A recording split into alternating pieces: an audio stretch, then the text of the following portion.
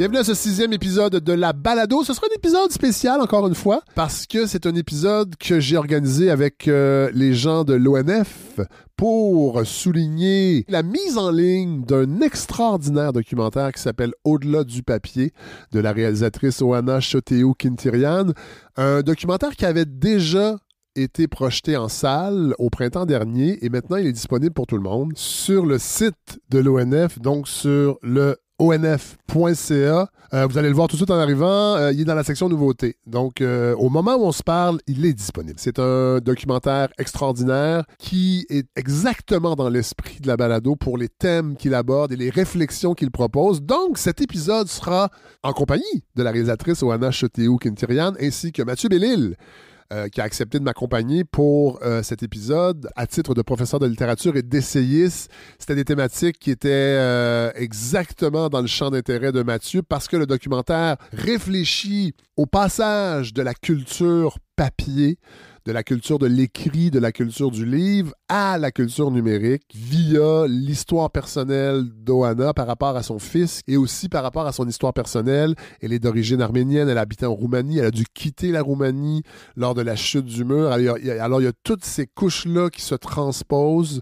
Euh, c'est vraiment un documentaire qui est, qui est riche, qui est dense. Et on aura aussi également avec nous Gordon Blenman, qui est professeur agrégé en histoire médiévale du département d'histoire de l'Université de Montréal, qui est un médiéviste. Fait qu'on va également se replonger dans l'ambiance qui prévalait lors de l'apparition de l'imprimerie entre autres, parce que lui aussi a vraiment des réflexions extrêmement intéressantes sur cette culture-là qui n'est qui n'est pas encore disparue. Alors, c'est vraiment un, un, épisode qui va réfléchir sur le passé, sur le présent et sur l'avenir. J'espère que vous allez apprécier. On a eu beaucoup de plaisir à l'enregistrer. Et surtout, si vous avez déjà vu le film au-delà du papier, vous allez aimer l'épisode parce qu'il va approfondir des thèmes qui ont été abordés. Mais si vous ne l'avez pas vu, je pense que ça va être une excellente mise en bouche pour après ça aller regarder le film sur l'onf.ca. Le film est disponible aujourd'hui même, moment de la publication de cet épisode.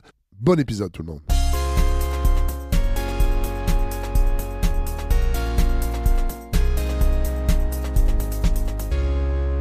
Alors, c'est avec grand plaisir que je débute euh, un épisode qui, je crois, sera extraordinaire sur un documentaire extraordinaire. Je vais tout de suite saluer euh, la personne responsable du fait qu'on est tous ici euh, à la bibliothèque Samuel Bromford de l'Université de Montréal.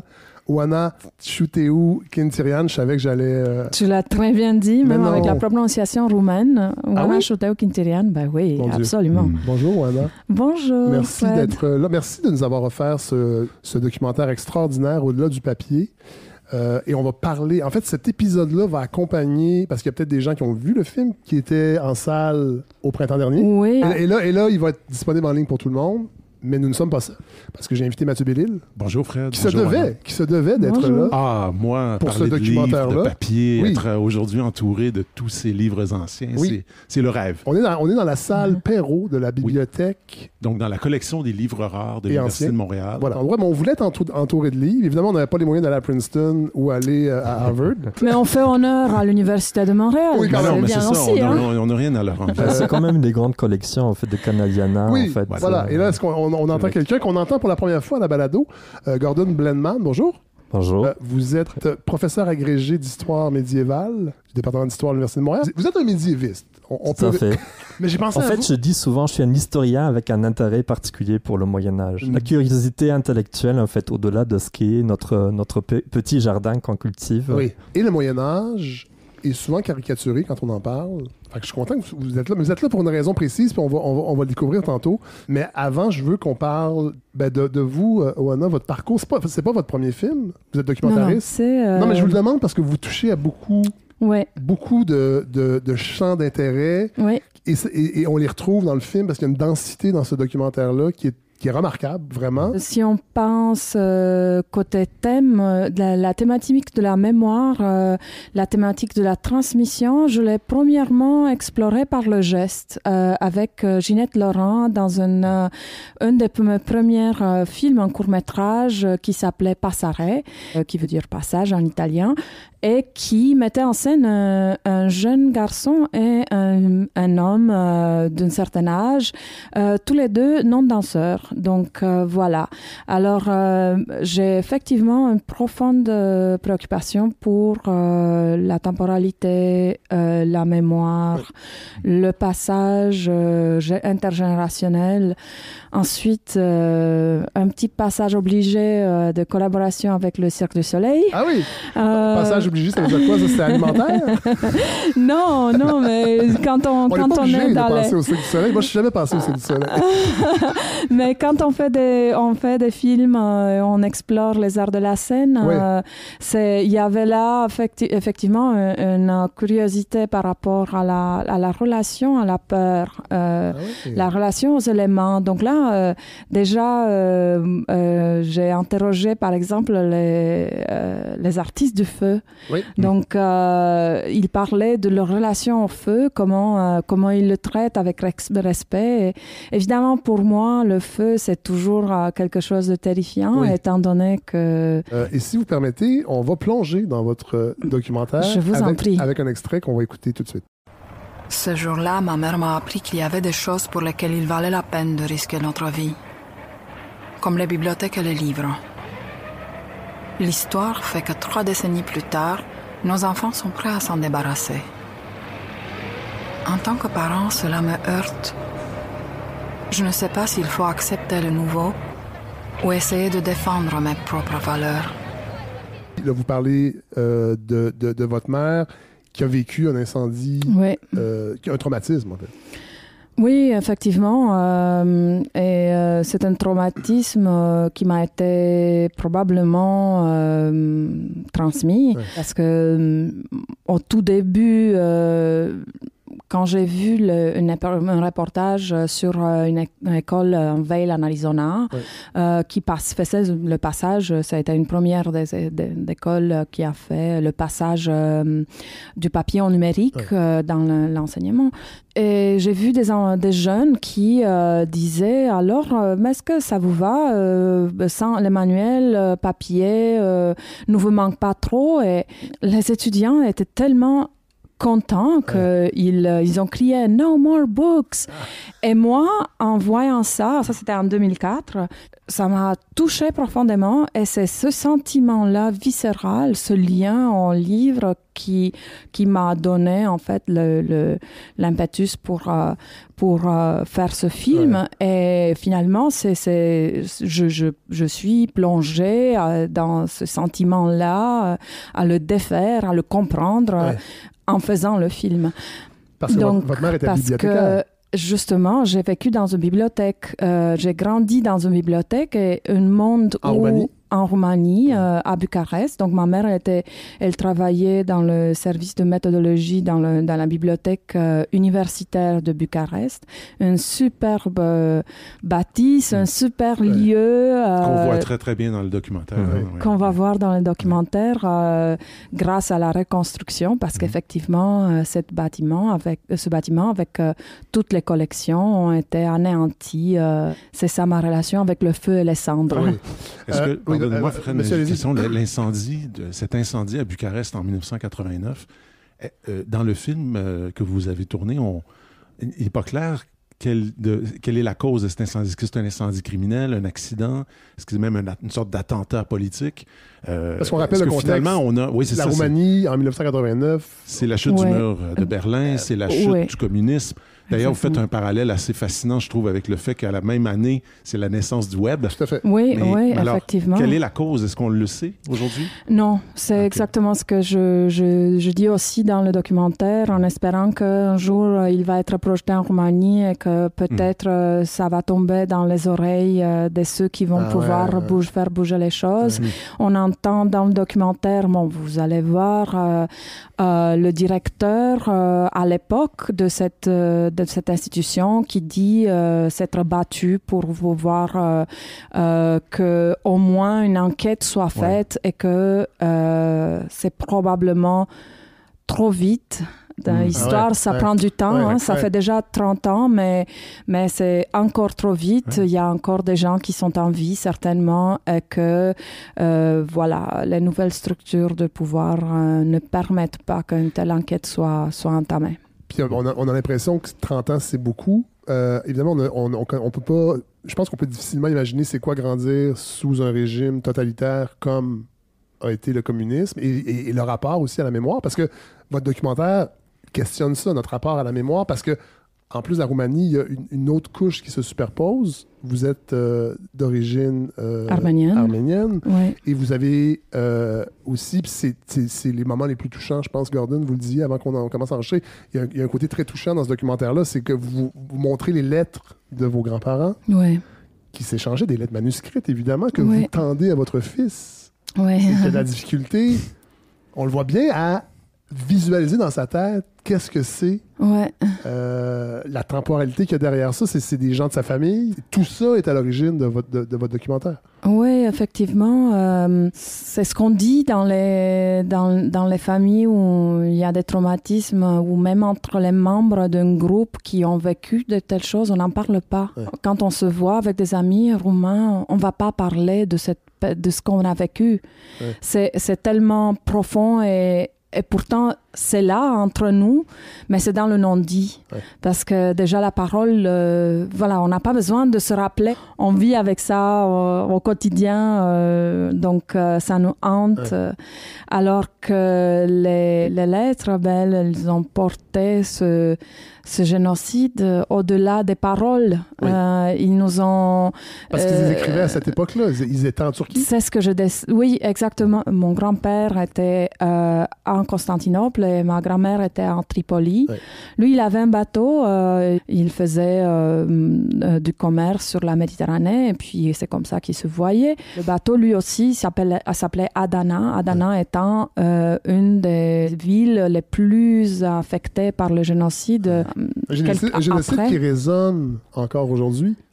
L'histoire, malheureusement, rejoue le même acte pour, les Arméniens. Oui, au Karabakh. D'ailleurs, il, paraît que vous êtes en. Vous travaillez. Euh, je, travaille avec une amie euh, qui s'appelle Astrid Abramian. on travaille sur un projet justement pour revenir sur cette. Euh, sur l'histoire du, génocide des arméniens de 1915, mais aussi, vous le rappelez dans votre documentaire, que il y a, il y a, des, il y a des, des, étapes, ça ne s'est pas produit d'un seul coup. Déjà à la fin du 19e siècle, hein, vous parlez des massacres amédiens, 1894, 15, 16, même 17, où déjà on voit le sultan de l'époque euh, commencer à, opérer cette, euh, cette violence génocidaire. On a de la peine à imaginer ce que ça peut être, ce que ça peut représenter, comment aussi on peut arriver comme une collectivité, par exemple comme euh, l'Empire ottoman de l'époque, et encore aujourd'hui d'ailleurs, quand c'est l'anniversaire du triste anniversaire du, génocide, il y a parfois des manifestations et des contre-manifestations pour contester l'existence même du génocide.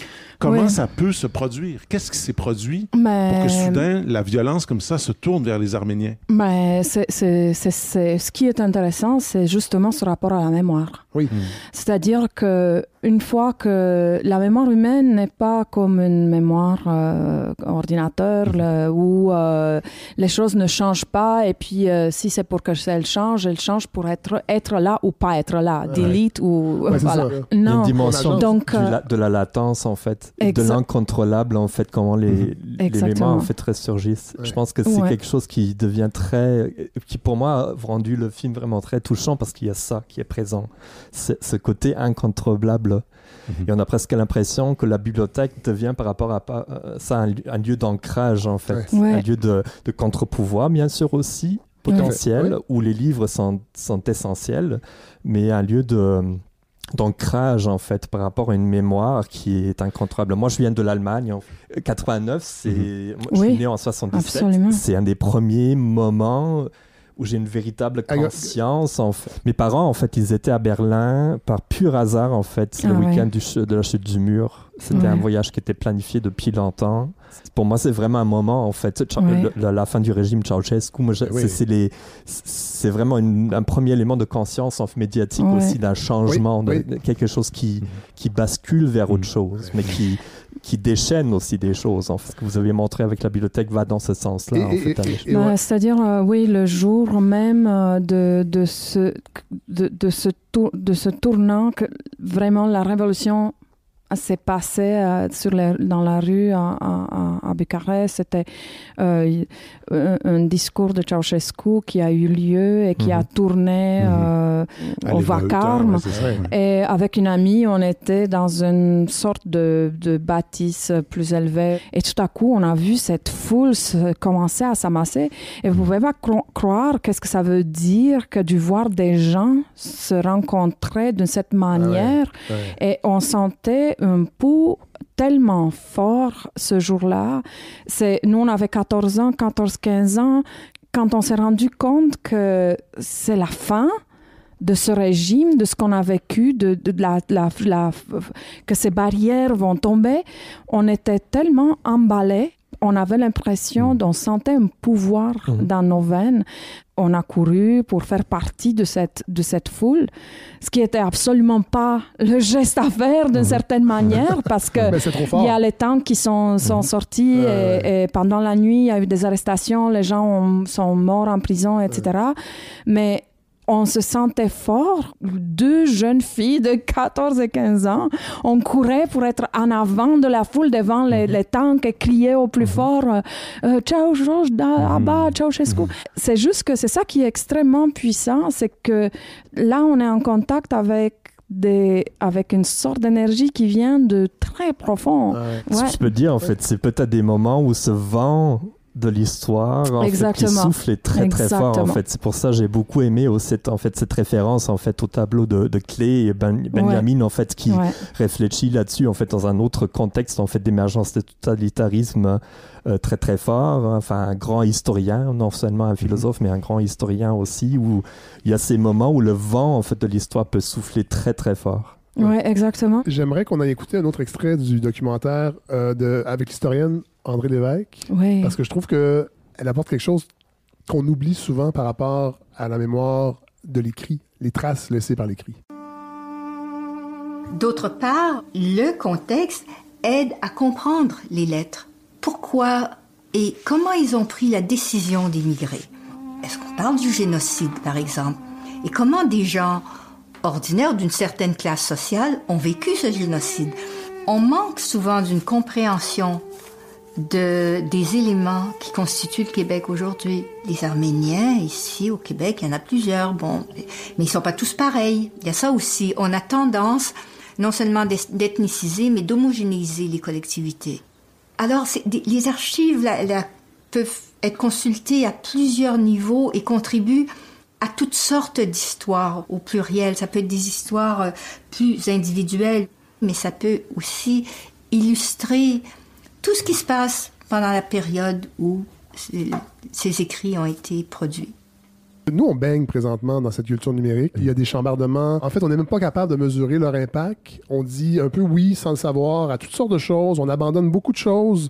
Des traces de nos photos qu'on numérise, oui, mais qu'on met sur des nuages qui sont gérés par d'autres entreprises. Et là, André Lévesque, cette historienne, nous rappelle la puissance des archives écrites et j'imagine qu'évidemment, c'est venu vous chercher parce que dans le film, vous relisez, vous demandez à vos enfants de relire ces lettres-là écrites par des vraies personnes qui pourraient être effacées par la culture numérique.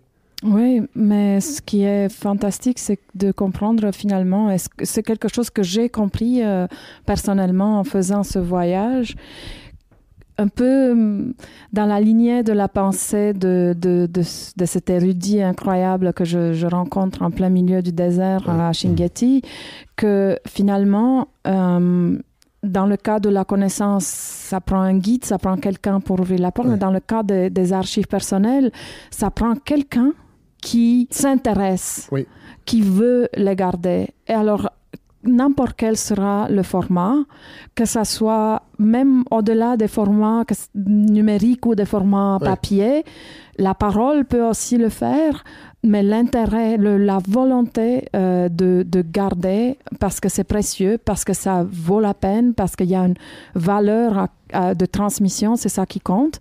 Pour cette boîte de lettres, euh, le fait qu'elle a survécu, c'est parce qu'on s'est occupé de, de cette mhm. boîte. Il y a toujours eu quelqu'un qui a pris soin de cette boîte. Donc, euh, ma arrière-grand-mère, arrière, arrière-grand-mère, euh, en tout cas.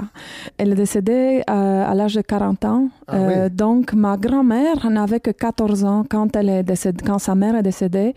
Et alors, à sa mort, pour remplir un petit peu ce vide, son père lui a fait cadeau cette boîte de lettres, de cette, ah cette correspondance jumelée pour que sa fille puisse garder le souvenir de sa mère pour euh, se sentir plus proche. Et c'est pour ça que cette boîte a été si précieusement gardée ah et a fait le, trajet parce que ça faisait partie de, de cette image qui devrait être gardée ah euh, au-delà de la mort. Vous avez parlé de Shingiti, on n'y aura pas tout de suite parce qu'il faut quand même parler de euh, la beauté de, de ce documentaire. -là. Moi, pour vrai, c'est pas parce que vous êtes là, je suis pas très flagormeur dans la vie en général. mais j'ai rarement vu un documentaire aussi beau sur le plan formel, sur le plan cinématographique. Tout à fait. Vous avez étudié en cinéma? Mais ça commence. Mais c'est pas, c'est pas obligé, vous me dites, ben oui. Mais Fred, il y a des plans, il y a des plans de. Par exemple, le début du Fred, film. réveille, allô! il y a au début du film, là, il y a des plans déjà magnifiques d'imprimerie. Après ça, il y a des plans de bibliothèque qui sont extraordinaires. Ouais, les, les, les, les euh, les scènes que vous faites, euh, que vous tournez en Afrique, en Mauritanie, elles sont sublimes. Je prends pas crédit complètement pour ça. J'ai eu un extraordinaire directeur photo. Ah bon? Mhm. Euh, oui, Étienne Rossi. Oui, okay. Rossi. Oui. Notez ce nom. Il est extraordinaire. Donc, Mais c'est quand même rare. Je trouve, ça quand même rare. Mais souvent, ce côté-là cinématographique, peut-être par manque de moyens, il est souvent un peu escamoté au profit du propos. Là, je trouve qu'on a vraiment les deux. Ben, C'est-à-dire que dès le début, on s'est parlé avec Nathalie et ce que je voulais faire, c'est un film cinématographique, justement, parce hmm. que on pouvait se donner le temps, pas par, pour tourner plus, mais on pouvait se donner le temps parce qu'on était devant des livres, devant hmm. des, des, gens qui, qui, avaient une connaissance acquise déjà. Donc, c'était, on était moins dans le présent, l'immédiat, le, hmm. le, et pourtant, le sujet était d'actualité, c'est pas la question. Mais c'est juste que ça nous permettait, nous, petits humains, bouger euh, bien gentiment et, capturer ces moments qui nous mettaient aussi en, quand on regarde le désert et qu'on attend le coucher de soleil ou le lever de soleil pour nous mettre justement dans cette temporalité qui, qui, a un côté un peu éternel. Mais, parlons de Shingeti, on y est. C'est dans le premier tiers du film. Alors, comment vous avez eu l'idée d'aller là-bas? Euh, c'est en Mauritanie. Ce sont des, des villes bibliothèques? Ben, ce sont des villes. Euh, en fait, euh, j'élargirais même le terme. On les appelle des villes bibliothèques, mais ce sont des villes qui sont des universités vivantes. Donc, avant, on les appelait la, la, Sorbonne. Ben, Shingeti, c'était la Sorbonne du désert. Donc, là, on tombe là, dans la période justement médiévale. Oui. Gordon, j'imagine, ça vous interpelle. Ça vous interpellait, en tout cas, Shingeti, quand vous.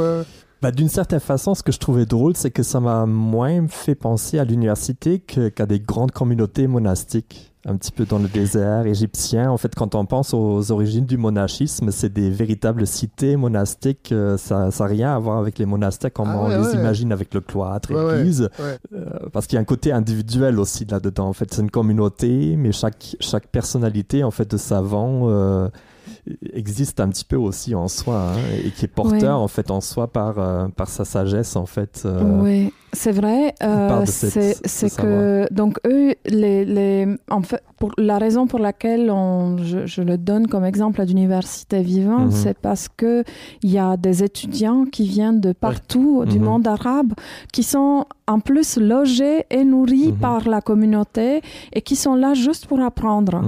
Alors ils vont effectivement chez les érudits dans leur maison, dans leur bibliothèque, qui des fois sont, sont à la même place que, que, que, leur espace oui, quotidien.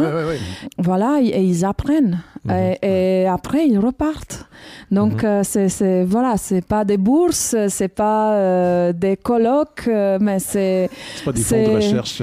Oui, bah, c'est quelque chose de profondément euh, humain, c'est-à-dire en fait un geste d'hospitalité en fait autour du savoir. En fait. Comment en fait les lieux de savoir sont au lieu des, des lieux d'hospitalité, de partage. En fait, c'est ça ce qui je trouve formidable, en fait. Oana Shingeti, il y a quand même aussi un enjeu qui est important qui, et qui accompagne votre réflexion, c'est que c'est une ville qui est menacée par l'avancée du désert, par les chèvres. Ouais, ouais. Vous appelez les La chèvres, plupart du temps. Les chèvres bibliophiles. les chèvres qui, mangent, qui mangent les manuscrits, c'est ça? Hein? Oui, on a bien aimé euh, ce petit euh, tour de. Ben oui, parce que, en fait, euh, comme il n'y a pas beaucoup d'herbes euh, dans le désert de Sahara, Amazon, les boîtes que, de livraison, ben, c'est très pratique. Hein, c'est de la cellulose. Donc, c'est ils ont ça sur menu Et les boîtes sont très grosses, beaucoup plus grosses que le contenu, souvent. Alors, les, les chefs sont contents encore une fois, pour revenir à, ce, à, cette situation de Shingeti, la réalité, c'est encore une fois euh, c'est cet attachement qui a sauvé les, les livres de Shingeti, les manuscrits. Mhm. C'est de vouloir, si on veut garder quelque chose, oui, on va, on va le faire. Qu'est-ce que ça a signifié? C'est que pendant des siècles, ils ont dû tenir euh, au loin le, le sable.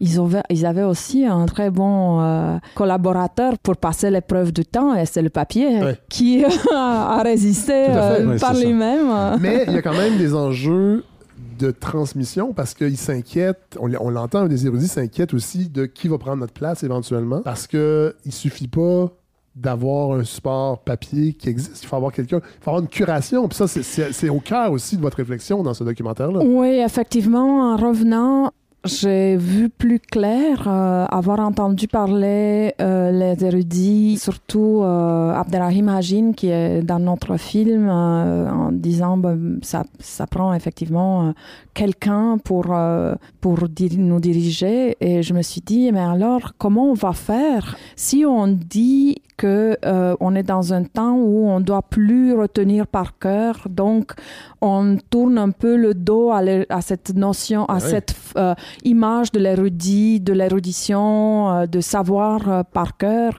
Qui vont être les érudits de demain qui vont être eux les guides de nos enfants? Parce que l'information est là. Moi j'aime beaucoup la j'aime beaucoup cette profondeur de champ historique qui est la vôtre dans ce documentaire-là. Parce que je trouve que une des grandes forces de votre euh, film, c'est que ça s'appelle Au-delà du papier et on sent bien qu'à la fois vous vous inquiétez de ce qui peut-être disparaît, et en même temps, vous ouvrez aussi à ce qui peut-être vient. Et il y a quelque chose de très lucide. Et l'image de, Paul Clé au début, de ce, fameux tableau de l'ange de l'histoire cité par Benjamin, pour moi, elle est très juste parce que et vous, en passant, c'est euh, pour ceux et celles qui verront le documentaire, vous le mettez en ex... la citation de Benjamin est en exergue de votre documentaire. Une... au fond, c'est à mon avis, c'est un regard très lucide sur ce qu'est le progrès. C'est-à-dire que dans tout changement euh, historique, il y a à la fois un gain et une perte. Et on n'est pas obligé Je dirais de... même presque une fatalité. Voilà. Et on n'est pas obligé de seulement regarder ce qui est le gain, parce que parfois, il y a une espèce de tendance à dire qu'il euh, faut uniquement célébrer la nouveauté. Tout à fait. Mais à un moment donné, il faut aussi penser à ce qui peut-être disparaît. Et dans ce, en, regardant ce, ce, ce film, j'avais à la fois des questionnements très, très profonds et généraux sur la civilisation, et à la fois des questions très personnelles. Parce que tout récemment, j'étais à la maison avec un vieux, euh, un vieux, euh, une vieille mémoire externe où il y a tous mes films de, de, ah mes enfants, des photos. Et c'était une mémoire externe Mac et là, mon Mac vient de me lâcher. Et là, je suis PC et je suis plus capable d'y regarder. Ah, l'erreur, Mathieu, c'est d'être passé au PC. Oui, mais, on n'a pas tous, euh, Fred, on n'a pas tous les moyens que la balado a. la, campagne de financement se poursuit en passant hein, pour les gens à la maison. Non, mais, non, mais, blague à part, c'est des vraies questions. Et quand on va chez, dans votre documentaire chez euh, André Lévesque, l'historienne, le responsable de la numérisation le dit. C'est pas parce qu'on numérise des, des, des, matériaux, qu'on numérise des documents, qu'on assure automatiquement leur pérennité. Parce que qu'est-ce qui dit que dans 30 ans, on va être encore capable de les lire? Tout à fait. Il y, a vraiment un enjeu. Alors, si je peux dire, il y, a une dimension commerciale là-dedans aussi. C'est-à-dire, en fait, à la différence du livre, l'ordinateur ou ceux qui produisent l'ordinateur nous dictent notre façon de faire. Tandis que le savoir qui est accessible par le livre ne nécessite pas plus que de savoir lire. Enfin, c'est un mhm. énorme jeu en, jeu dans l'histoire culturelle du monde, en fait, et jusqu'à aujourd'hui, l'apprentissage de, mhm. de, lire avec les, les, problèmes d'analphabétisme et tout ça. Mais il reste, il y a là une, différence pour moi, en fait, fondamentale et qui, qui est très, très, euh, très présente. En fait, ce que pour revenir à la question de la du, progrès en fait je trouve en fait cette idée en fait du tableau et de Benjamin et ça apparaît dans le film aussi c'est une vision profondément réaliste réaliste ce que c'est le progrès ouais. Ben, je, je, vais citer ici Umberto Eco qui a écrit un livre euh, qui disait justement euh, ce qui s'appelle euh, N'espérez pas de vous débarrasser des livres. Et mhm. là, il donnait cet exemple. Ben oui, ben, c'est bien. parce que les titres. Umberto Eco, on faire un épisode. Moi, j'adore Umberto Eco. Et ses titres de livres sont souvent extraordinaires. Grand médiéviste. Ah, voilà. le pourquoi C'est parce que. Ben oui, pourquoi? Parce qu'il donnait la réponse à, à McLuhan avec. the, mm. oui, uh, the book will disappear. Donc, euh, no, the book will not disappear. C'est vraiment euh, tout au long de leur vie, ils se sont envoyés la, la réplique.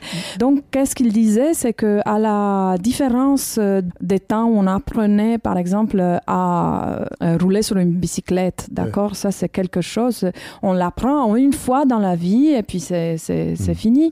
Et là, on est face à un constant apprentissage mm.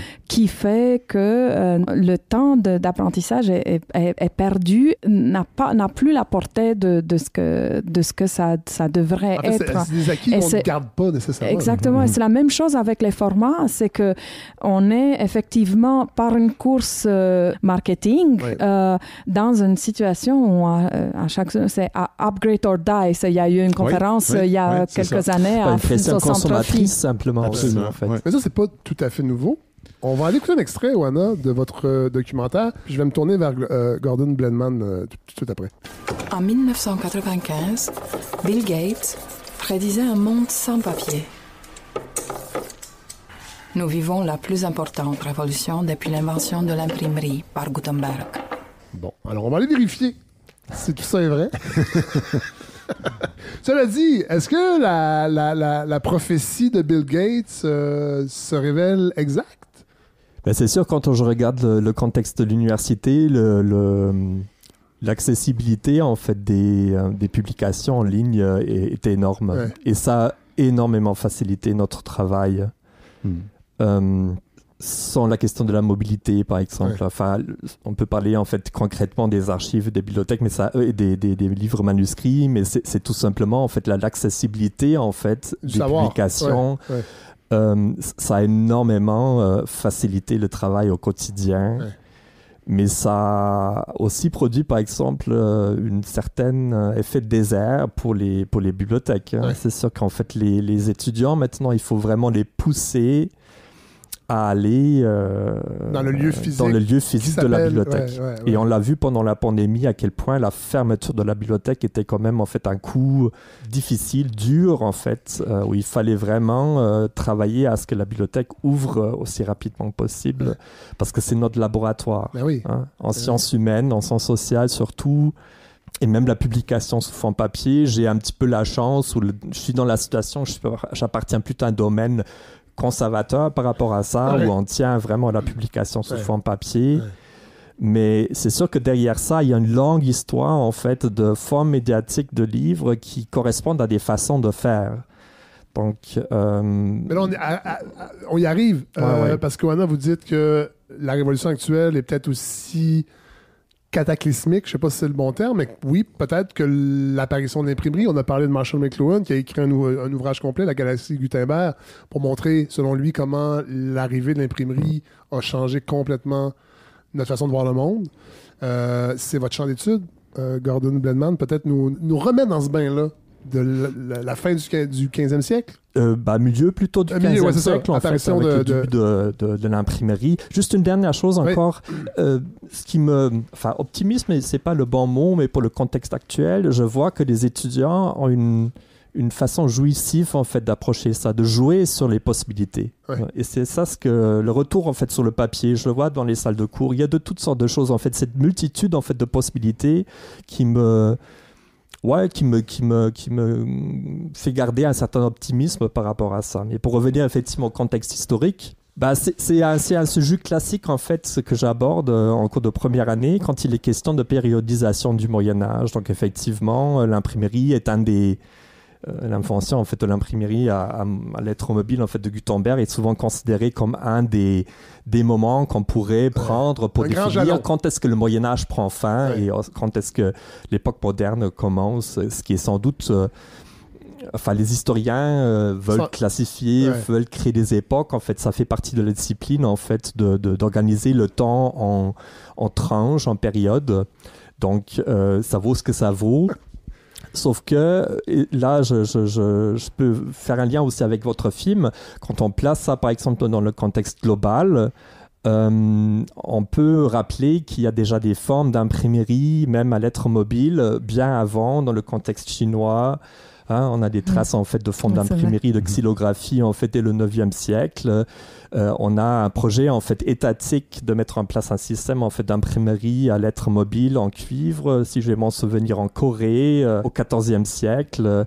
Euh, le problème étant que on a très peu de traces de réception de ça dans le contexte occidental. Donc, venant d'un contexte occidental, la recherche a effectivement essayé un petit peu de, tu es en train de dire qu'il y a un peu d'occidentalocentrisme dans notre amour ben, de Gutenberg? C'est sûr, si on voit que... si on ben voit... C'est pour ça, en fait, c'était important d'aller, en fait... Euh, c'est pour ça que je trouvais super intéressant aussi, en fait, cette interview à la toute fin avec, avec l'archiviste, je crois, ou des archivistes ou euh, bibliothécaires, en fait, de directrice, Internet Archive. Directrice des, des, collections euh, à Internet Archive, Alexis Rossi. Ah, qui montre à quel point c'est important de partir... De quelle façon on est inévitablement formaté par notre contexte et notre façon de voir le, le monde. Et c'est sûr qu'en fait, si on voit ces, ces, antécédents en fait asiatiques, l'idée en fait de, de périodiser en fait euh, l'histoire par rapport à ça, à cette invention de Gutenberg qui est importante, tombe d'une certaine façon. Hein, si on veut se placer dans un contexte en fait historique ou d'une histoire globale, hein. ça c'est peut-être déjà un premier point euh, relativisant. La recherche en fait a surtout euh, par rapport à ça, euh, axé assez rapidement sur la question de, la dimension de l'histoire culturelle et de l'histoire sociale euh, derrière ça, l'imprimerie. il y a un effet en fait social qui est, qui est considérable. Hein. À quel niveau? Bah, dans la question des diffusions, euh, diffusion en fait du savoir, hein, un peu euh, avec des, effets négatifs aussi. Hein. Pour donner un exemple, l'imprimerie a participé aussi à diffuser davantage des, des traditions de misogynie cléricale envers les femmes. Bon, oh, attention, première, première fois que j'entends ça, euh, Gordon Blenman, qu'est-ce que vous voulez dire? L'imprimerie a accentué la misogynie cléricale? Pas la misogynie cléricale, mais l'imprimerie a mis à disposition d'autres moyens de diffusion d'idées hmm. qui existaient ah. déjà auparavant.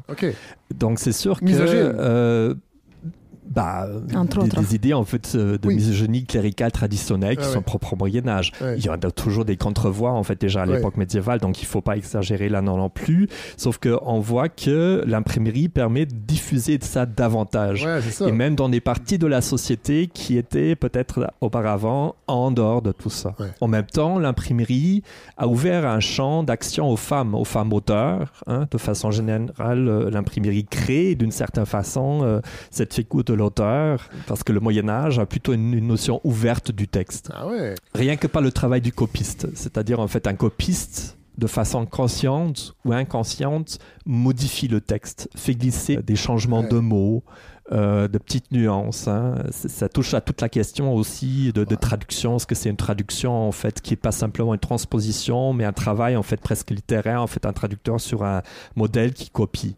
Et le copiste est donc pas simplement une machine qui, qui recopie, mais qui a en fait une, une, une agentivité par rapport au texte en fait, qui de le transformer, son propre regard, qui peut euh, effectivement aller faire plus que simplement copier. C'est sûr que l'imprimerie fixe le texte euh, davantage et ouvre une période en fait où cette idée de fixité du texte est, davantage présente et on peut poser la question dans quel sens en fait on arrive maintenant à un moment où de nouveau on a une nouvelle forme, une autre forme en fait du texte ouvert. Ah, c'est comme un renversement aujourd'hui de cette on a l'impression que le copyright est en train de disparaître. L'intelligence artificielle vient remodeler ça aussi. Fait la question de l'image, là, on peut produire toutes sortes d'œuvres bah, il y a des revenants sans doute là-dedans. Ça, Mais euh, c'est sûr que le, contexte social, le contexte global aussi a complètement changé. Euh, mais pour revenir en fait à la situation de Bill Gates, c'est sûr que le, le, livre euh, Les Incunables, donc en fait les livres qu'on appelle les Incunables pour, la période entre la création en fait de l'imprimerie et la fin du 15e siècle, c'est cette première période en fait de l'histoire des origines de l'imprimerie.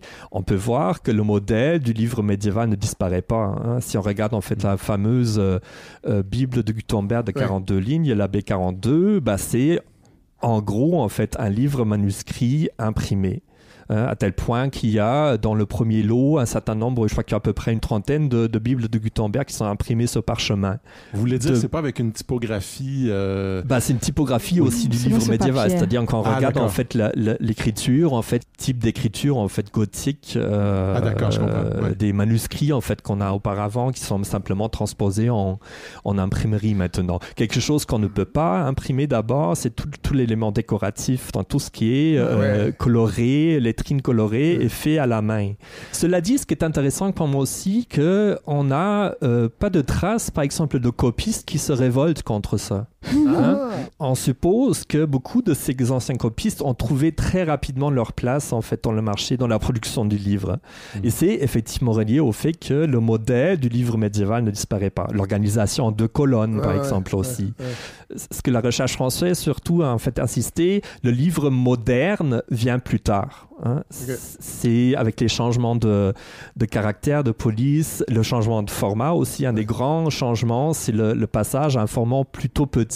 Hein. c'est là que le véritable livre moderne naît. Et qui va hein? se répandre aussi, parce qu'à l'époque, à l'époque, ça reste une élite bah, ça reste en fait, enfin, Gutenberg a énormément de problèmes de financier. Il se chicane en fait avec un de ses financiers. Euh, euh, ça l'oblige en fait carrément en fait de délaisser en partie son équipement. Euh, ah il quitte la ville pendant un certain temps. Enfin, il y a beaucoup de, il y a beaucoup de mystères autour de ses origines, mais il y a aussi beaucoup de, de va-et-vient. De tractation, parce qu'il y a une dimension commerciale. Il y a une course. bien sûr, il y a un investissement. Il y a des sommes énormes qui sont engagées là-dedans. Ah, la diffusion, par exemple, c'est un petit peu un hasard de politique locale c'est-à-dire en fait il y a euh, une guerre qui frappe la ville de Mayence où travaille Gutenberg et lors du siège en fait par les, armées en fait de l'archevêque de l'époque, c'est là qu'en fait que euh, l'atelier est dissous, les, ouvriers sont plus tenus en fait au secret de, de, ah professionnels. C'est à partir de là qu'on dit en général que la diffusion assez rapide en fait de la technologie euh, a commencé. Ah, hein. Voulez-vous dire que les, les, ouvriers même de Gutenberg sont, font partie de ceux qui ont propager ou fait, circuler l'idée même d'imprimerie, des technologies? Bah, il y a effectivement une mobilité en fait à considérer par rapport en fait aux connaisseurs ou mm. aux spécialistes de la technologie, mais il faut pas exagérer non plus de cette idée en fait on fait de l'imprimeur vagabond. Il cherche quand même assez rapidement à trouver un contexte économique commercial favorable à mettre en place une officine, à mettre en place en fait un atelier d'imprimerie en conscience qu'il y a un public, euh, qu'il y a des mécènes. Donc en fait, comme vous dites, il y a une dimension commerciale extrêmement forte euh, derrière ça euh, dès, le, dès le départ, c'est certain. On le voit aussi en fait dans la façon quel texte en est-ce qu'on imprime? Donc, des récits de voyage par exemple des textes qui étaient déjà en fait très prisés très cherchés au Moyen Âge passent assez facilement à l'imprimerie. Donc le, passage en fait du livre manuscrit vers le livre imprimé euh, c'est un indicateur de l'importance d'un texte. Ah c'est ça qui est super intéressant dans cette période parce que l'impact que ça a sur la mémoire, la façon dont on mémorise et la façon dont on utilise le livre comme objet, euh, avant étant un intermédiaire de la mémoire humaine. Mhm. Euh, les enluminures euh, étaient vraiment là pour qu'on puisse se rappeler de, des passages qu'on lisait et qu'après Gutenberg, ben, tout à coup... Que les images, si je peux dire, en fait, ajoutaient en fait souvent une trame complémentaire au texte. Hein. Dans les livres médiévaux, souvent les images établissent en fait une trame narrative complémentaire euh, qui, enfin, qui, qui, ajoute un plus, que ça soit en termes d'une interprétation ou que ça soit vraiment en fait en quelque chose de plus, un message en fait actualité qui passe plus par les, les, images que par le texte en fait. Et puis après, ben, Gutenberg, euh, c'est plus le cas. On retient plus tellement les livres sont euh, euh, sont là pour faire circuler certains textes, mm. mais sont pas nécessairement des textes à apprendre par cœur. je pense qu'on est en train de vivre un, un moment historique semblable dans ce mhm. changement par rapport à la mémoire.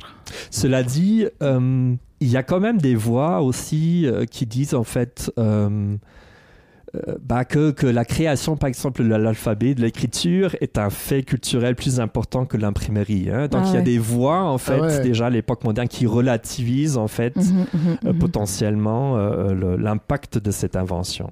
Mais quand même, sur le plan politique, je donne ah, l'exemple, par exemple, de, de, Martin Luther qui publie Exactement. ses 95 thèses.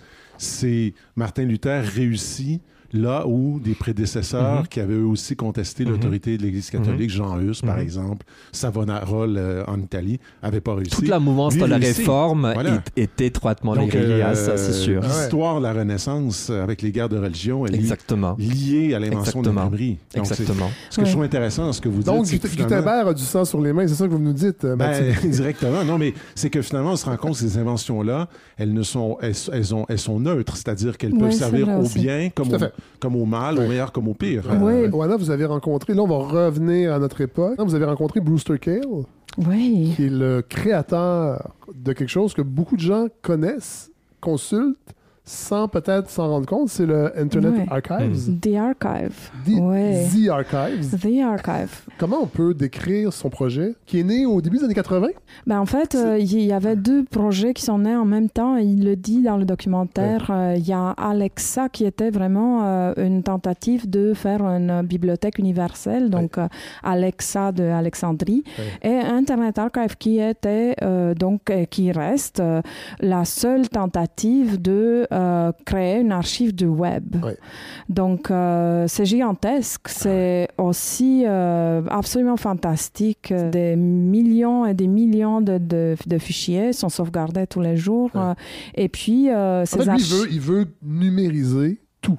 Euh, c'est-à-dire, euh, oui, lui, ce qu'il veut, c'est son intérêt, c'est de créer des archives euh, du web au début, parce qu'il s'est rendu compte qu'il y avait personne qui faisait ça et que le web est en constant mm, changement. Donc, dans le documentaire, il, il, il, fait un à propos à la page. Et il dit bon, c'est drôle même de dire que c'est des pages web parce qu'elles changent tellement que si on fait, comme on discutait tout à l'heure, la page imprimée euh, est là pour pour rester, mais c'est pas le cas des pages web. Donc ça, c'était sa première euh, intuition.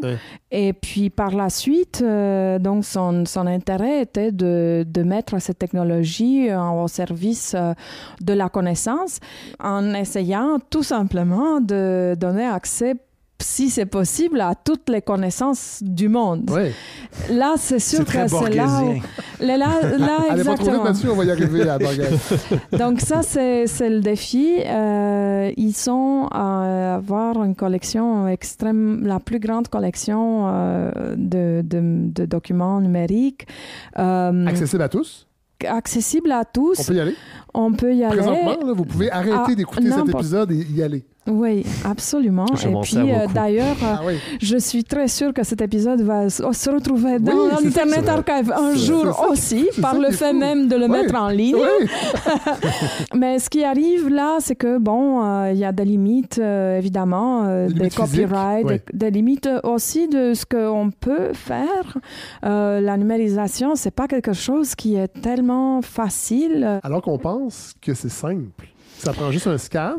Ben, c'est-à-dire que ça prend juste un scan, mais quand c'est la quantité de l'écrit qui est incommensurable. Il n'y a personne qui, qui, a même donné un chiffre de combien de pages écrites il y en a. Le, le, fameux World Wide Web, dont vous vous rappelez qu'il est né en 89, euh, c'est quand même fabuleux de penser que c'est né au moment où tombe tout un, tout un pan du monde. C'est quand les frontières euh, sont...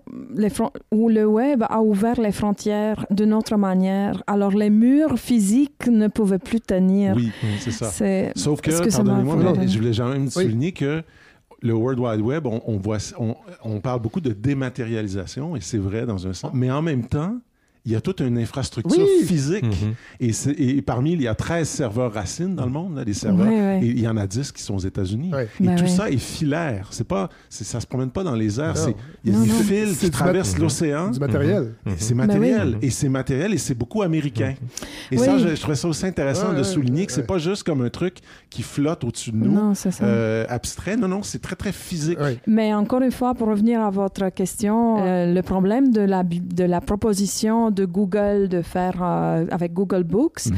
de numériser la connaissance du monde, a été d'ailleurs arrêté, pas juste à cause des droits d'auteur euh, aux États-Unis. Ça, c'était une partie. Mais l'autre partie, c'était une opposition qui est venue directement de la France et de l'Allemagne, mhm. qui ont dit non, on ne vous donne pas les documents de nos bibliothèques parce qu'on va chercher Camus, euh, on va faire une recherche et la première chose qui va sortir, ça va être une traduction de Camus en anglais. Mhm.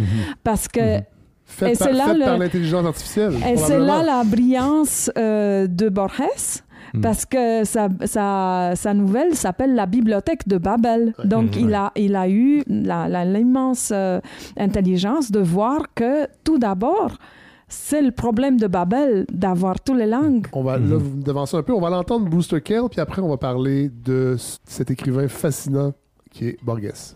The digital library that we've built is sort of fabulous and terrible all at the same time because it's it's not complete. And it's and it's sort of misorganized in all sorts of interesting, quirky, Borges kind of ways. So we've got a lot to do and a lot we can learn from the physical libraries of the past to build the great digital library. Voilà. Alors, c'est un projet euh, colossal, il le dit, euh, Brewster Kahle, euh, et il fait allusion à Borges. Vous en parlez dans le, dans le, dans le film. Vous allez voir sa veuve, oui. Maria Kodama, qui, d'ailleurs est décédée ah depuis ah donc, ah mars passé. Oui. Parlons de lui, parce que moi, je le connaissais très peu, je le connaissais de nom. Euh, c'est un écrivain vraiment iconoclaste, vraiment, vraiment unique. Euh, Mathieu, vous, vous, êtes, vous êtes prof de littérature. J'imagine que Borges. Euh, oui, oui. Moi, je dois avouer, j'ai toujours eu un faible pour son compatriote Julio Cortázar. Mais j'aime aussi beaucoup Borges parce que il y a chez lui une, une capacité incroyable à nous faire voir des abstractions. C'est-à-dire mhm. que, tu sais, la bibliothèque de Babel, là, c'est c'est une bibliothèque qui est puis il y a même un débat parmi les, exégètes. Est-ce qu'elle est infinie ou finie? Parce qu'il y a des gens sérieux qui ont fait des calculs. Mais attendez, je, veux juste la situer. La bibliothèque de Babel, c'est une nouvelle. Oui, euh, c'est une nouvelle parue en 1941. Voilà, qui est inspirée d'une autre nouvelle de Kurt Laswitz. Écrivain allemand et mathématicien. Qui a été publié en 1904, La Bibliothèque universelle. Alors, il y a vraiment cet alliage littérature et mathématiques. Absolument. Mais j'ai l'impression que c'est deux domaines qui se qui se ben, qui conversent pas tant que ça ensemble. Ben en fait, c'est drôle parce que dans, Lewis Carroll qui euh, Oui, puis en France euh, à partir des années 60, il y a un mouvement qui s'appelle l'Oulipo. qui est euh, l'ouvroir de littérature potentielle animé par Raymond Queneau, François Le Lyonnais, qui fait précisément ah des mathématiques à la base de la création ah littéraire. Mais ce qui est génial dans la nouvelle, et on va pas la, En fait, ça se raconte ça se raconte presque pas, c'est une étrange affaire, mais c'est comme si Borges avait imaginé euh, alors une bibliothèque qui contient non seulement tous les livres parus et écrits depuis la nuit des temps, mais tous ceux à venir. Ah ouais. Possible. Tous ceux mhm. possibles. Et à partir d'une langue formée de 25 caractères, une langue donc avec, euh, il y a, je pense qu'il y a 22 lettres et il y a les symboles euh, virgule, point. et, et, en fait, quand euh, dans la nouvelle, un personnage ouvre les livres, il comprend pas mhm. parce que c'est écrit dans une langue qui n'existe pas et qui est fondée sur une espèce de combinatoire aléatoire. Et là, il y a des gens sérieux qui ont dit combien de, par exemple, parce qu'il y a une règle dans la, nouvelle qui dit tous les livres de cette bibliothèque ont 410 pages. Euh, il y a dans chaque page 40 lignes avec 80 caractères. Et là, il y a des gens qui ont fait le, calcul de ce que ça pourrait donner comme nombre de livres possibles, parce que c'est 10 à la 4677. Ouais. Je ne sais pas ce que ça représente. Ben, ça, c'est ça. Le, ça vient de la suite qui a essayé de, de, faire ce calcul et s'est rendu compte qu'un bibliothécaire qui voudrait parcourir cette bibliothèque, euh, ça lui prendrait euh, plus qu'une vie humaine. Ce qui est intéressant, c'est que euh, finalement, oui, c'est basé sur cette notion mathématique de combinaison. Sauf que autour de ces ouvrages-là, il y aura tout et n'importe quoi. Il y aura Shakespeare, mais il y aura à mhm. côté. Mhm. un Shakespeare que personne n'aura jamais les moyens de comprendre. C'est un, peu c'est un peu une métaphore de la numérisation un peu du projet, dans le fond, de Care. C'est-à-dire qu'on numérise, on numérise. S'il n'y a pas de curation, tout finit par s'équivaloir. Mais avec euh, une archive comme Internet Archive, il y a des moteurs de recherche, mais euh, il y a aussi un savoir-faire, c'est-à-dire qu'il faut rentrer dans une archive comme celle-ci, en savoir qu'est-ce qu'on cherche, en savoir, à savoir euh, comment le chercher aussi, parce que justement, je donnais l'exemple dans le film, vous allez le voir, de qu'est-ce qu'on peut trouver quand on fait juste simplement rentrer le nom Borges. Le problème, je pense que les bibliothèques, on est là, il y, a des, y a des livres sur les étagères, on se balade et on trouve. Tandis que dans, dans des archives qu'on accède euh, comme ça avec des mots-clés, on ne trouve que qu'est-ce qu'on cherche. Et ça, c'est une immense perte parce qu'on a mhm. perdu justement euh, mhm. la découverte. Euh, donc, ça, ça, me fait penser, enfin, il y a plein de choses qui me viennent, mais euh, ça me fait penser que quand j'ai fait mon propre projet de thèse de doctorat, j'avais une idée de ce que je voulais faire. Et puis, eh j'ai décidé d'aller à la bibliothèque dans la section de la littérature française. Et j'ai commencé avec A. Et je me suis rendu à Z. Et je feuilletais.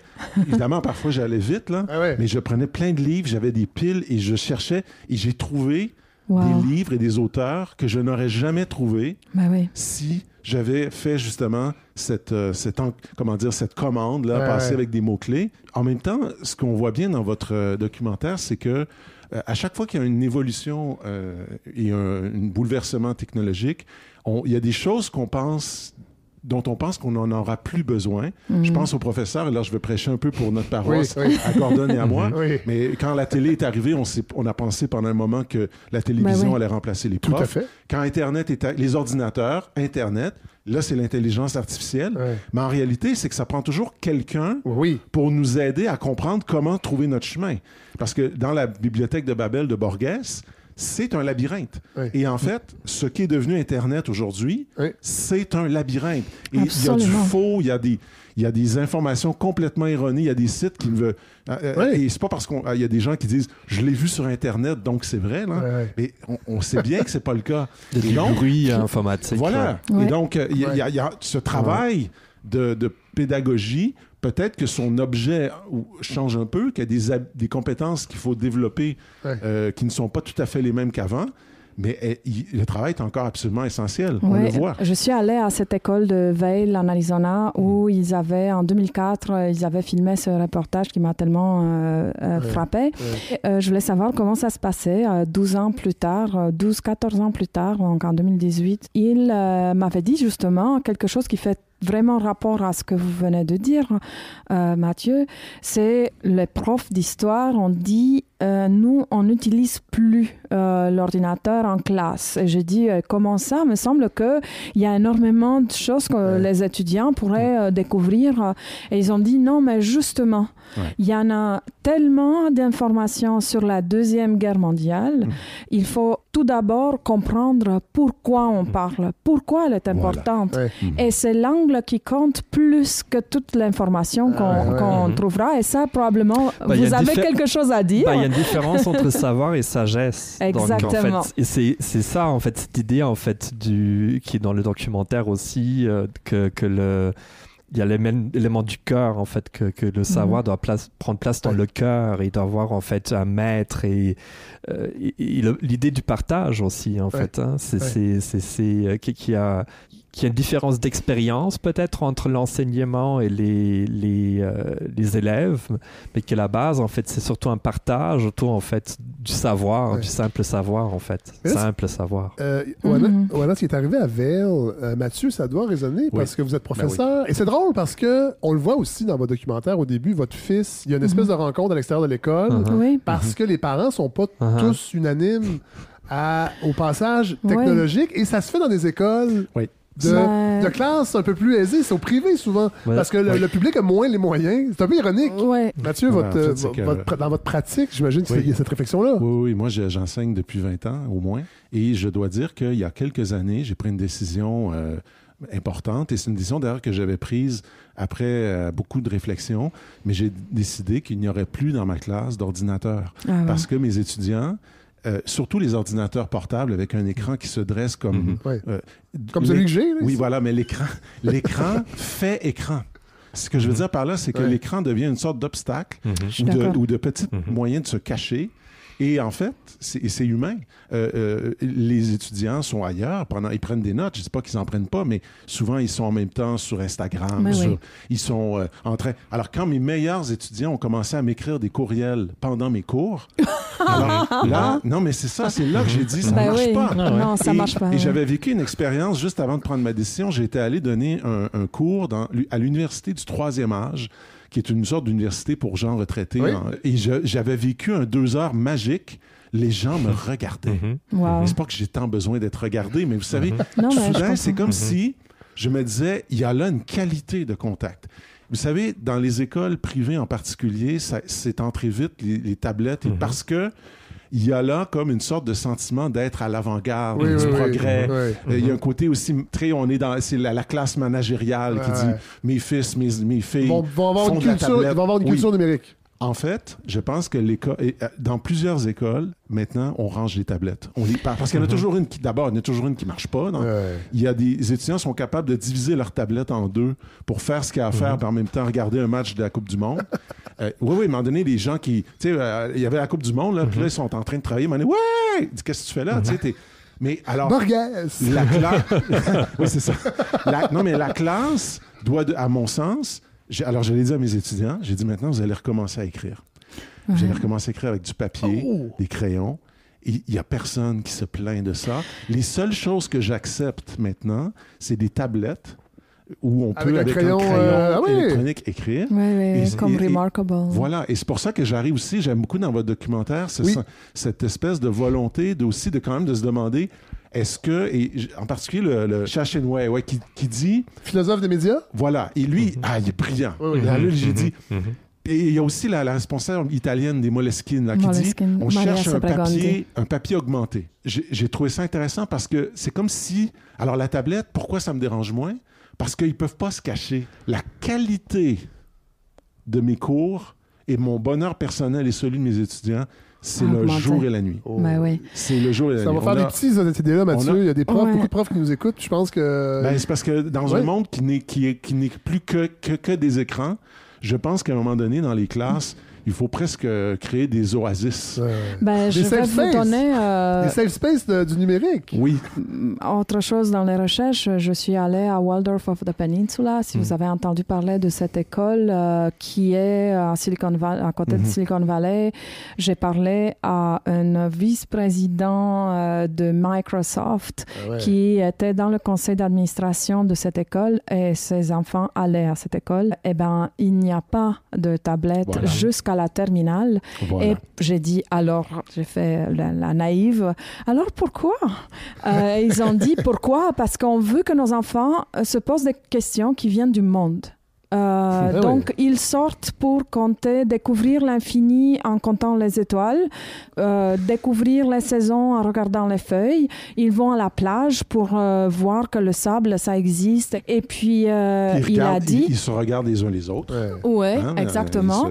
Et il a dit, nous, ça ne nous intéresse pas que nos enfants soient déstabilisés par une, la prochaine, le prochain changement technologique qui ne qu'on ne se doute pas, ça va arriver. C'est pas la dernière technologie qu'on a inventée. Donc, c'est risquant de faire ça. En même temps, c'est un petit peu comme les, les, compagnies en fait, de tabac, en fait, où les, les, les directeurs en fait, ne fument pas. En fait. Hein. C'est comme si, vous allez, vous allez, si vous allez manger chez Chef Boyardi et il ne vous sert pas du Chef Boyardi, posez-vous des questions. Mais on parle de l'écriture manuscrite. Il y a une section dans votre, dans votre film, donc vous rencontrez la, la, la, la présidente de Moleskine? Oui, la fondatrice, Maria Sebregandi. Fantastique. Là, je dis pas aux gens d'acheter un, carnet Moleskine, mais c'est vrai que les, ordinateurs, ça faisait des années que je mhm. n'avais pas écrit manuscrit. et c'est drôle parce qu'on est dans une période où les identités sont tellement mises de l'avant et on a abandonné ce qui est peut-être le plus intime de notre ben, identité, notre signature, notre, calligraphie. Ben, c'est bien parce que votre carnet, il va, il va durer. le, papier que tu utilises, c'est non acide, donc. C'est pensé ah pour... Ah mais non, mais, mais, cette, femme, cette femme a quand même... Euh, tu sais, elle parle d'écologie mentale, elle parle que l'écriture manuscrite ajoute une couche dans notre réflexion, et aussi forcément les polices de caractère mm. et euh, le philosophe des médias euh, dont le nom est... oui lui aussi mm. a réfléchi à ça la typographie uniformise énormément on mm-hmm. utilise tout ou presque mm-hmm. la même ou trois ou quatre mêmes polices de caractère ça a un impact sur sur ce qu'on mm. est, sur ce qu'on sur ce qu'on diffuse. C'est quand même euh, c'est quand même une réflexion à avoir. Évidemment, je veux dire, on est on est euh, formaté. Oui. La pensée est formatée aussi. Euh, il y a on a des correcteurs de grammaire. C'est très pratique, on s'entend. Sauf que ce qui est vraiment génial avec Moleskine et avec les gens de Sketchmob, c'est que ça fait réfléchir au fait que de partir de la page blanche.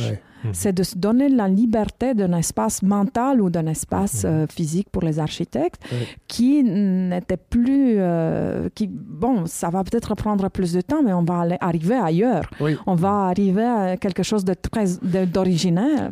Et, on répète qu'il n'y a, a, rien dans votre film qui s'oppose à la technologie. Tu sais, je veux pas parce qu'on parle d'autres époques, on parle même de l'architecte dont le nom m'échappe, qui a son Moleskine, tu sais, je, je pars de ça, mais après ça, je transpose ça sur mes outils informatiques. Là.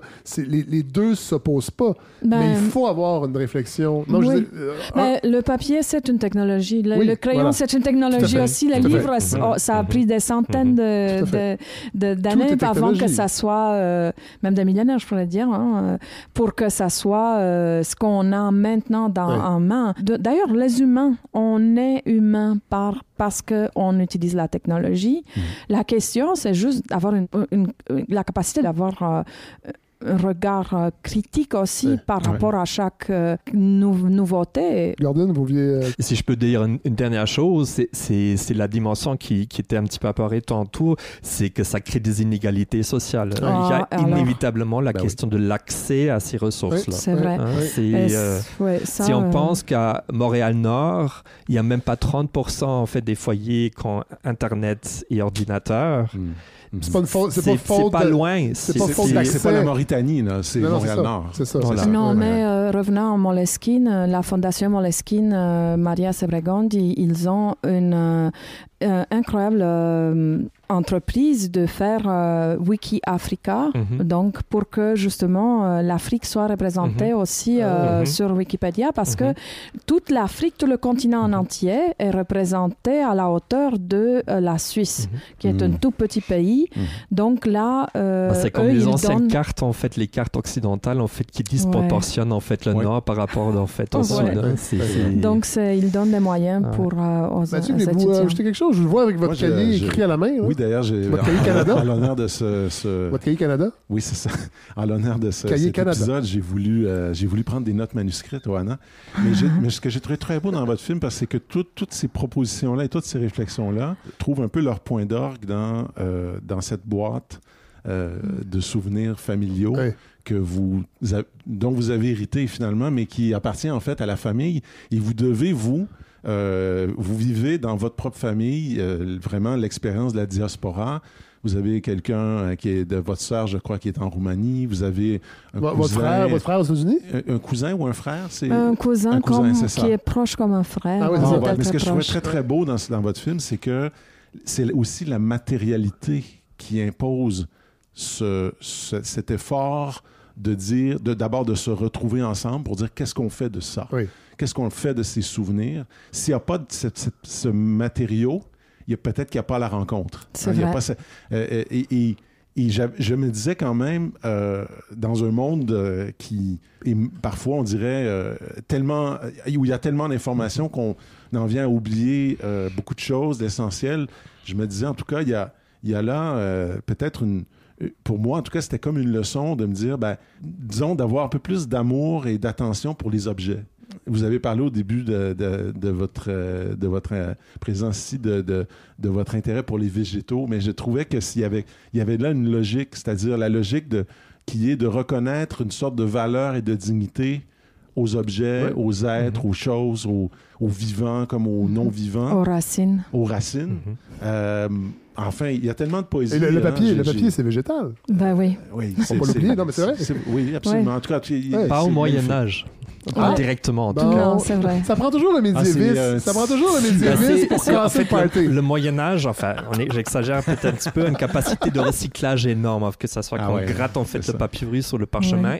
Mais euh, le papier, c'est des vieux tissus, en fait. Il y a des commerçants qui passent de porte en porte et récupèrent en fait les, les vieux vêtements, euh, les vieux tissus, en fait, qui sont ensuite recyclés pour faire du papier. Ce qui est très intéressant d'ailleurs, c'est qu'entre le mot texte et le mot textile, exactement. il y a, un, texte. Voilà. Le texte est un tissu. Tout à fait. c'est un tissu. Tout à fait. Je, lance un dernier extrait, puis je vais, je vais, je vais me tourner après ça vers, euh, ben vers tout le monde, vers Rwanda, parce que vous l'avez vécu, quelque chose que j'aurais aimé vivre. It seems so obvious the difference between living and working in these great libraries, you know, like at Harvard and Stanford, well, Harvard especially, um, or New York Public Library, these, these, these libraries that had millions, five, ten million books. It's very hard to describe this difference to people who haven't done it. And the people who are inventing these technologies for scanning. On en a parlé tantôt, on vient de l'entendre, c'est. Euh, Wei. Voilà. Qui, qui, a travaillé, il dit dans, dans votre film, ça a été mhm. un des, un des. Dans l'équipe que. Apple. Qui a, qui a, créé le premier Mac, quand même. Ouais. Le système euh, graphique. Ouais. Et vous avez visité plusieurs bibliothèques euh, incroyable. Mhm. Je l'avoue, on est content d'être ici à la salle Perrault euh, mhm. de la bibliothèque. Livreur, mais cette ivresse d'être entouré, puis on le sent quand on va à la grande bibliothèque. Alors j'imagine ces grandes bibliothèques que vous avez visitées, comment vous vous sentiez?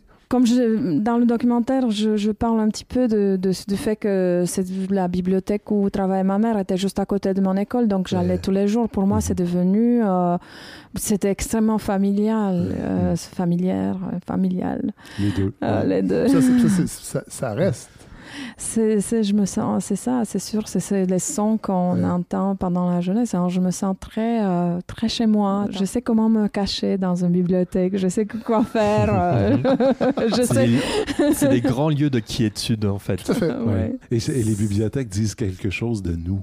Moi, j'aime beaucoup quand je vais chez des amis voir leur bibliothèque. Moi, pourquoi je garde des livres? Parce qu'ils disent quelque chose de moi. Ah. Parce que quelque part, et pas seulement de moi, ils disent qu'ils ils sont comme le fond sur lequel je m'appuie, dans un sens. L'objet, l'objet livre n'est pas en, voie de disparition. Non. Euh, on en vend un peu moins qu'avant, mais il est toujours on là. On en imprime beaucoup. Ben, euh, oui. Non, c'est. pas tous bons, d'ailleurs. oui, le livre, la, production de, la production du papier et les livres imprimés, sont, les chiffres sont grandissent année en année. Hein. Par ailleurs, euh, la plus grande consommatrice, les, les plus grands consommateurs de papier sont les boîtes en carton et le papier toilette. Hein. Donc, ah euh, ça, mhm. c'est, c'est ce qui utilise la plupart des choses. Ben, Mais pour revenir euh, à ce que vous disiez sur la bibliothèque, de, les bibliothèques personnelles sont des supports de mémoire. On voit mhm. les, les livres euh, rangés d'une certaine manière. C'est des palais de mémoire. on, à chaque fois qu'on voit un titre, on se rappelle de ce qu'il y a à l'intérieur. Mais on se souvient des lieux où on a lu le livre en plus. la première fois. Par contre, Umberto Eco était vraiment très rigolo parce mhm. qu'il avait une bibliothèque incroyable et mhm. les gens rentraient, mais, mais vous avez lu tous ces livres Et euh, euh, assez souvent, il répondait aux reporters, mais non, mais non, euh, si je les avais lus, pourquoi je les aurais sur ah les murs? C'est l'inverse de Seinfeld. Alors voilà, il faut que je, je, mette fin à, cette, à cet épisode parce que, parce que j'ai déjà envie d'aller revoir ce film au-delà du papier. Mathieu Bellil, Merci de m'avoir accompagné. Ça fait un plaisir. Dans, ce, dans ce voyage. Vraiment un bonheur euh, avec Oana et euh, Gordon. Gordon Gladman, merci. Alors, merci euh, beaucoup. Oana, Chuteo, Kitirian, j'ai bien, bien prononcé? Oui. Merci. ça a été une, rencontre extraordinaire parce qu'on a travaillé, on s'est rencontrés quelques fois, on a fait des réunions. merci de nous avoir offert ce documentaire. Là, j'imagine que vous allez terminer votre doctorat avant de faire un autre film. Euh, ben, La prochaine, c'est parce que je, je, je, je, fais des installations également. Donc, euh, ça va être plus. Euh, là, je travaille plus avec des médiums, d'autres médiums. Donc, ça va être plus des, des, environnements immersifs, probablement. Ah puis d'autres choses à venir, des instruments pour voir le temps des plantes, le mouvement des plantes. On va, on va suivre vos activités. Merci énormément pour ce, cet épisode d'accompagnement de ce, magnifique documentaire au-delà du papier.